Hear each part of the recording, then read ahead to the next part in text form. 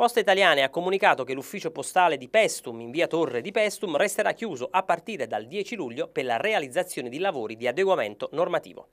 Durante tale periodo i cittadini potranno usufruire in alternativa degli uffici postali di Capaccio Scalo e Ponte Barizzo.